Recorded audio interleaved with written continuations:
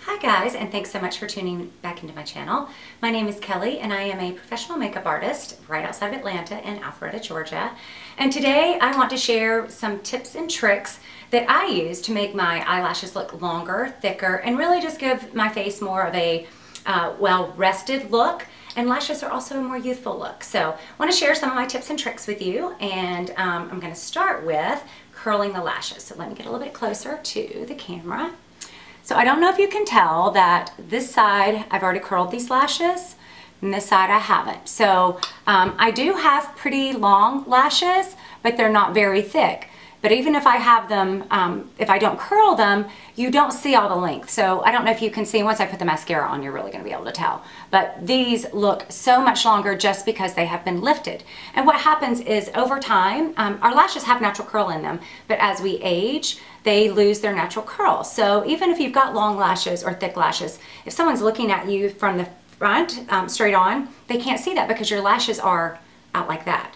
So just by curling the lashes, it will open them up so you can see the length as well as um, eliminate shadows that can be cast by, by your lashes when they are not curled and just leaning over the, the eye like that. Um, our eyes are the windows to our soul. Oops, let me just zoom this out a little bit. Okay. Alrighty. So um, there are lots of eyelash curlers on the market and I have really had, I haven't had a lot of luck in finding one that gave me a nice even curl all throughout the base of the lash. And that's because I have very deep set eyes, but also have wide eyes. So most of the eyelash curlers are very horseshoe shaped. So you've got these outside lashes that um, are just bent. This is the best eyelash curler I have ever used. This is the Troy Surratt Reveille Lash Curler. And in fact, it won the Allure Best of Beauty, Best, uh, Best Beauty Tool last year. Um, and it is amazing. One, you can get a little bit more stability in pinching the, the base of the curler because it's too, um, it, it's double uh, banded here on the, on the end as opposed to one. So you've got two bands here on the thumb ring as well. So it's a little bit more secure and you don't have the wobbling going on. Also, it has less of a horseshoe shape than any of the other curlers on the market. So it really does help when you've got deep set eyes like mine. So um, I've already done this one. I'm gonna do my left eye. So for me, since my eyes are so deep set, I do, I put my lashes in and then I actually take my ring finger or my index finger and hold my brow bone up so that I can make sure I've got all the lashes in the curler. And then when I do, I give it a gentle curl at the base, hold for a few minutes, or a few seconds rather. And then let go and slide down just a little bit so you're kind of mid-shaft and give it a more gentle squeeze. So that way you've got a nice natural rounded curl as opposed to just a hard bend. So, um, alrighty, so now what I'm gonna do is I'm going to um, use, I'm gonna show you a couple of different mascaras. There, there are a lot of mascaras on the market and most of the time um, I'm of the opinion that your mass market, your mass dealers like CoverGirl and Maybelline really can give the bigger brands or the more prestige brands a run for their money on mascara. Because mascara is all about volume. And in fact you know you may have worked with um, or used a, a cosmetic line before that may only have one formula of mascara and I know that um, from my experience, I worked with a company and they only had one mascara and it was a, an everyday mascara. And so when I asked them about um, why don't we have one that's for more volume and more voluminous, and they explained to me that you with mascara there's a very high buy-in so you know i'm just going to use the analogy let's say there's um, 300000 pieces that you have to buy so if you're a small makeup company you can't um, usually afford to put that much revenue into one product SKU. So it's all about your brush is um, that that's one of the biggest factors in how your mascara works. So most of your mascaras have your regular, and this is one of my go-to mascaras. This is Mirabella's Lash Essential. It's a mineral mascara. It's also very light. It's more of a gel-based mascara. So um, as we age and our lashes get thinner, we can't support the weight of these very heavy, voluminous um, formulas. They just weigh down our lashes. So this is a good everyday mascara. And when you purchase this, the brush is actually not bent. It's straight. But I always take my brushes and bend them um, just at the front of the tube so that I get a really nice bend um, and I'll show you why here shortly. So anyway, this is more of your regular tapered head. It's a um, average size tapered head. And what's great about these is that you can, uh, with it being wide, it gives a lot of room for your lashes to wrap around to curl. But then by having the tapered edge or tapered end, you can really get into more of the um, detail areas. So inner corner of the eye, the outer corner of the eye if you want to do a sweep, so it's more of a cat eye.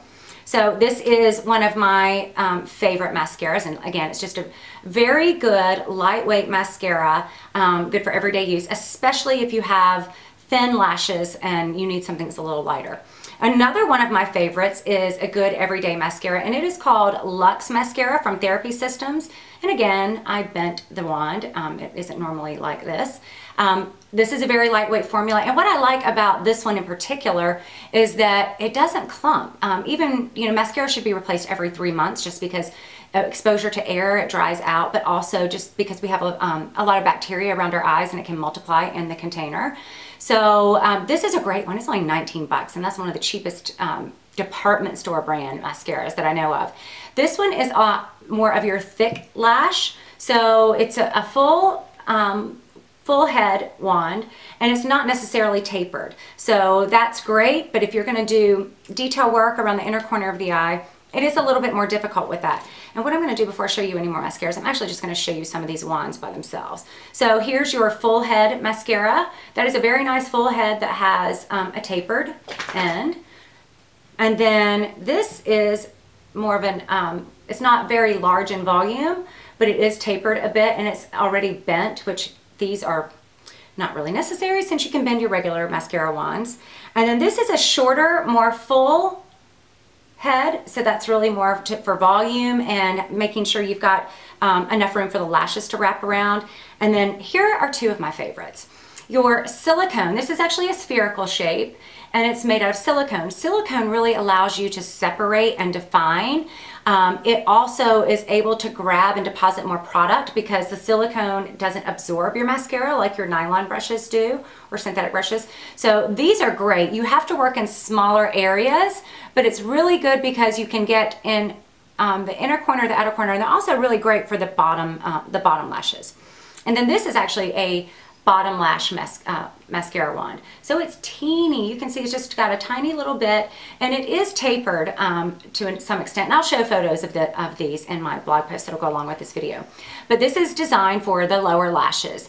Um, I also find it very helpful for getting in my inner lashes are not as thick as the mid and the outer lashes. So it really helps me to get in at the base and I'll show you as I'm applying my mascara. So um, just different ones. For example, Diorshow. I know that a lot of people love this. However, I have found that this mascara is a little heavy. If you are someone that has thinner lashes, it does tend to weigh it down. Um, Trish McEvoy and Blinc make the tubular mascaras. Um, a lot of people love them. I don't particularly because I feel like they take away the volume. There's so much separation. But if you're somebody that really wants more of that separated look, um, that's a great option for you. And then one of my favorite drugstore brands, and actually this is was one of my go-tos until just recently. Um, this is the L'Oreal Voluminous Carbon uh, Black Mascara. This mascara is the bomb. It has a big fat brush. It is tapered a little bit, um, but it's really nice. The, the formula sticks um, really well, and so as you work it around the base of the lash, you do get a lot of density there. Um, and then of course, two more drugstore brands, the CoverGirl Lash Blast and Clump Crusher. These are awesome, oops, brands um, as well for drugstore brands. And these both have the silicone um, mascara wand. So again, you're gonna get more separation. You're gonna be able to pick up more product and apply it to the lashes than you would with a regular um, synthetic or uh, nylon brush head. Okay, so one of the things that I love about this new mascara that I have been using, this is Lash Luxe Mascara by um, one of my favorite brands, the mineral company Mirabella Beauty. And this is a, a mascara that actually does lengthen, curl, and um, add volume, but it's a little different because it's got a formula, a, a patented product in it called Wide Lash. And what Wide Lash is, is it has um, it, it contains peptides um, and it has uh, B5 in it, um, glycerin, which is a humectant. And what this particular ingredient is known for is strengthening the um, st strengthening the hair bulb where it anchors at the lash line because what it does is it increases your um, production of collagen and so therefore you're, you do not lose as many lashes and it also stimulates um, uh, new hair growth. So this is awesome. This is a beautiful mascara as far as just application, but the fact that it's got some properties to help your lashes grow, it's got the biotin, the tripeptides, panthenol, and glycerin. It is currently my favorite mascara on the market. Now with this mascara, again, the wand was not curled when it arrived, but I always put it in the end to bend it. And then I'm gonna show you a little trick about application.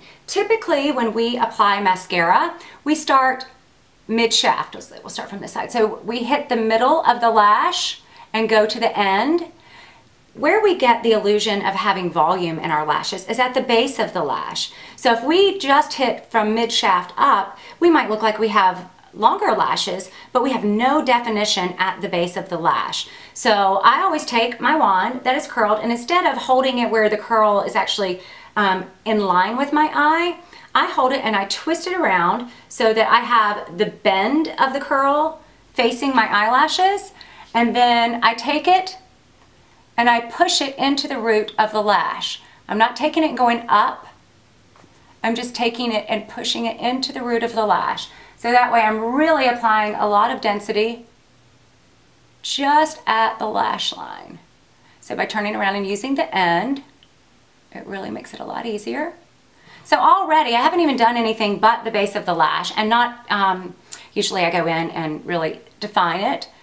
So just easy. So now, now what I'm going to do is I am going to um, continue building the base, the root of the lashes with my mascara. And again, this is the Mirabella Lash Luxe. So by taking it and really pushing it into the base of the lash, you're getting a lot of volume. And then now I'll take it and just do kind of push in and do little zigzag motions with my hand, or with my wrist rather. And just continuing to go all the way across the base of the lash. And now I'm going to push and take it all the way to the end. So now we're getting to the tips of the lashes.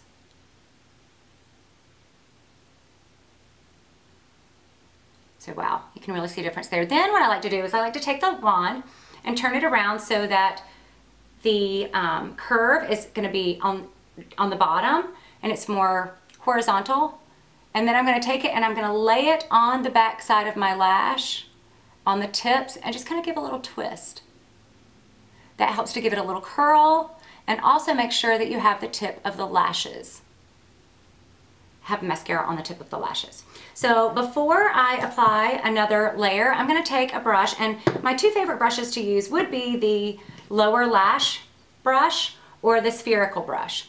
So I wanna go in and just make sure that I really separate because when I go on and put the go put the second coat on, if I choose to put a second coat, I don't want it to be clumpy. I want to be able to go in and accentuate length or, or volume where I need to, which for me is typically here on the inner corner and on the outer corners.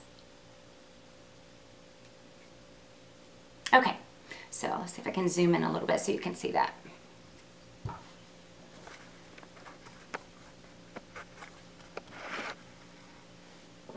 Okay, so now you can really see a difference. And, and that is one coat of mascara, which just is mind-boggling to me. I love this mascara. Now, of course, I've got little messies everywhere, which we can clean up afterwards. So then I'll go back and do another coat. And here, I'm really just going to um, just lightly press it all the way across and then brush up. So I don't know if you can tell, I don't have um, I don't have a lot of lashes on the inner corner. So this is where this little bitty wand take, uh, comes in handy. I'm going to take my brush and just get the mascara off the tip of the brush by brushing it across my wand. Stick it back in the applicator. And now I'm going to take this little bitty wand and just do the inner corner of the lash. Okay, so that's a big lash compared to this lash. So that is just mascara. no uh, mascara primer, um, just curling the lash and then um, using the technique of pushing it against the base of the lash until you've got it all covered at the root of the lash, then coming up to mid shaft, pushing in again, doing the same motion, like pushing in again, and then on the third run, th the third run through, you're gonna just take it front and go gently up through the tips, then remember go on the back side of the lash, and just um, gently touch the tips and lift so it makes a little curl. And then you can either use your mascara wand that you're that you have to comb through or um, if you have access to the smaller ones these really make it much much easier. Um, so I hope that you enjoyed that little tip on